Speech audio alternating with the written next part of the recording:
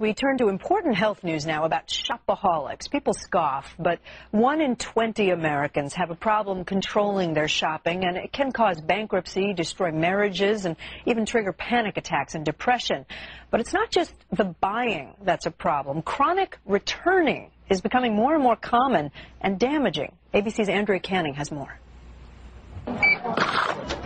Returning items to the store isn't just a post-holidays ritual for many Americans. Serial shoppers return items they buy on a regular basis throughout the year. They return. I buy something, I already have it at home. And return. I feel bad that I paid so much for it. And return some more. And when I get home, it's like, oh, I really don't like it. Most consider it a harmless habit. But for this woman who asked to remain anonymous, her behavior ventures into dangerous territory, returning thousands and thousands of dollars of merchandise a year.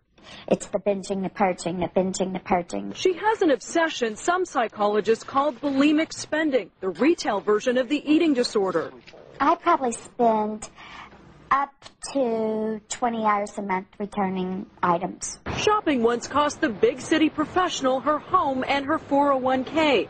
Now as she makes the long road to recovery and still craves the emotional need of spending, her new addiction is returning. 100% of the time I have regret, remorse, guilt. Um, I mean, it, it can make me physically ill. Dr. April Lane Benson, author of I Shop Therefore I Am, says serial returning is a well-kept secret because it carries so much embarrassment and shame. The person who's the compulsive returner is often very perfectionistic and feels that they should be more in control than they are. Benson says dopamine levels in the brain rise during the anticipation of the buy and then crash later, creating buyer's remorse. That remorse can contribute to big losses for store owners. Retailers say they're fed up with serial returners, losing up to $15 billion a year on bad returns. The shopping and the returning kind of go hand in hand. It's really trying to fill a need, and it's not necessarily a material need. It's just trying to fill up an emotional need. This bulimic spender says she's still learning the hard way that a 15-minute walk around the block before buying that new pair of shoes can help curb her emotional cravings and save hours of returning in the long run. For Good Morning America, Andrea Canning, ABC News, Arlington, Virginia. And we're joined now by Dr. April Lane Benson, a psychologist and expert in shopping disorders who we just saw in that piece. Good morning to you. Good morning. Why? Why are people doing this? Well, as you heard in the piece, there's a rush of the brain chemical dopamine when we anticipate pleasure. And for many people, shopping is one of the places where they anticipate pleasure.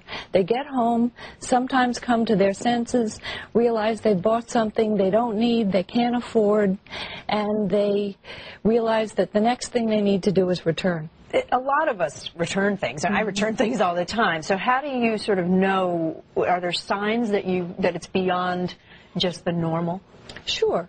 If you have shopping bags lining your closet, lining your hallway, and your car trunk is like a revolving door, some people call it their halfway house, then you have to think about you may have a problem. If you send other people to return for you because you feel so embarrassed that you, you know, you're there constantly, mm-hmm. that's a sign. And you're preoccupied with shopping, you say. Yes. People who are just obsessed with thinking about it all the sure. time. Sure. And the, the time and energy you spend in the behavior is time you could be doing something else much more satisfying. And, and how do these folks feel about, I mean, is there also a sign in terms of the way you feel? We mentioned in the piece feeling shame, feeling embarrassed mm-hmm. about having to go back to the store. Sure, and feeling guilty. There are lots of feelings like that, feeling sad, defeated, despairing. Some people do it because they're angry. The shopping is mm-hmm. motivated by anger. What do you What do you tell people to do then? What's the sort of first step? Well, in... the first step is to really think about your buying before you do it. And I have people ask themselves six questions. Why am I here? What do I feel? Do I need this? What if I wait? How will I pay? And where will I put it? pausing before you buy can really make a difference. Take that walk around the block, as mm -hmm. we said. Mm-hmm. Thank you so much. Appreciate your time.